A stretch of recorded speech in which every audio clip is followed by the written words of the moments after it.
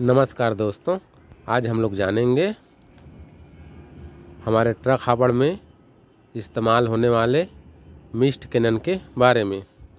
देखिए दोस्तों, ये हमारा मिस्ट कैनन है।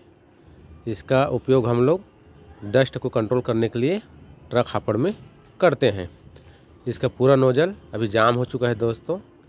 इसका अच्छे से हम लोग अभी क्लीनिंग करेंगे और रिफिक्सिंग करेंगे। उसका प्रोसेस अभी आप लोग अच्छे से देख पाएँगे।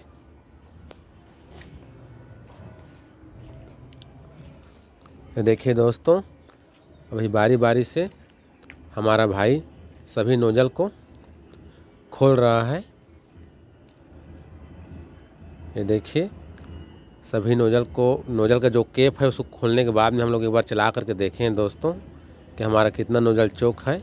उसी के हिसाब से हम लोग सभी नोजल को खोल करके क्लीनिंग करेंगे। इसमें बहुत बारीक खोल होता है दोस्तों। इसको खोल करके ही अच्छे से क्लीन करना ज़रूरी रहता है।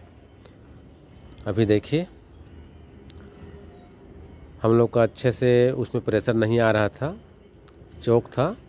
इसलिए दोस्तों, अभी अभी पूरा नोजल को ही खोल करके बाहर अच्छे से कोई भी बर्तन में पानी में रख कर क्लीन करना पड़ेगा। ये देखिए दोस्तों बारी बारी से लगभग हम लोगों ने सभी नोजल को खोल लिया है। ये जो लास्ट नोजल है, उसको भी हमारा भाई जो है, खोल रहा है अभी। ये देखिए, अभी टोटल हम लोगों ने नोजल को खोल लिया है सभी को। अभी हम लोग एक बार इसको फ्लशिंग कर लेते हैं दोस्तों। हम लोग फ्लशिंग कर लेंगे तो ठीक रहेगा। जितने भी रस्टेड रस्ट रहेगा, वो निकल जाएगा। ये देखिए दोस्तों, इधर हमारा क्लीनिंग चालू हो गया है। एक बर्तन में सभी नोजलों को पानी में डुबो करके अच्छा से एक वायर, पतला सा वायर लेकर के इसको अभी हम लोग क्लीन कर ले रहे हैं। अच्छे से क्लीन कर लेंगे। उसके बाद ही जो है हमारा फिर से रिफिक्सिंग करेंगे दोस्तों। ये देखिए, हम लोगों ने बारी बारी से सभी नोजल को क्लीन अभी कर लिया है। ये देखिए दोस्तों आपको दिख रहा होगा, इसमें बहुत ही बारीक होल रहता है, जिसमें आपका रस्ट जाकर बैठ जाता है। उसके बाद में इसमें अच्छे से फुहारा नहीं निकलता और वो हमारा एयर हवा के साथ में मिलकर अच्छे से मिस्ट नहीं बनाता। ये देखिए दोस्तों, हम लोग लास्ट में एक बार फिर इसको फ्लशिंग कर ले रहे हैं। देखिए, आपके सामने दिख रहा होगा कितना मटमैला पानी आ रहा है।